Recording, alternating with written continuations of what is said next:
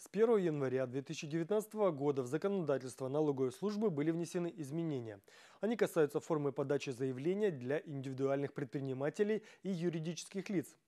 Новая форма подачи заявлений не только освобождает от необходимости лично обращаться к специалистам, выстаивая очереди в налоговой инспекции, но и от уплаты госпошлины. Максим Швец расскажет подробнее.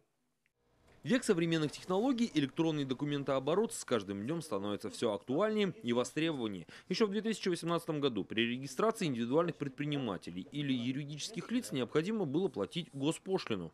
Согласно, опять же, этого налогового кодекса, статьи об оплате госпошлины, при регистрации юридического лица уплачивается государственная пошлина 4000 рублей. При регистрации изменения в сведения о юридическом лице Э, об учредительных документах юридического лица и закрытие юридического лица, госпошлина была в каждом случае по 800 рублей. При открытии, при регистрации физического лица в качестве индивидуального предпринимателя госпошлина оплачивается в размере 800 рублей, при закрытии 160. С 2019 года начали действовать поправки в налоговом кодексе. И теперь индивидуальные предприниматели, а также юридические лица освобождаются от уплаты этих госпошлин, но только при наличии электронно-цифровой подписи.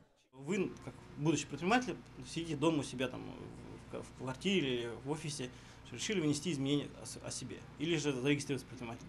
Сидя дома, значит, используя электронную подпись, скачав специальную программу, значит, на сайте, размещенную на сайте налоговой службы, вы отправляете документы в электронном виде к нам, значит, и нет необходимости приходить. Еще один значительный плюс, помимо отсутствия госпошлины, вас освобождают от необходимости нотариально заверять документы, на что ранее требовалось и время, и деньги. В случае возникновения каких-либо вопросов по нововведениям, специалисты Лабутнанского отдела налоговой службы готовы проконсультировать вас в рабочее время по телефону 2 30 72 или 2 30 66. Максим Швец, Кирилл Сементьев, программа «Время местное».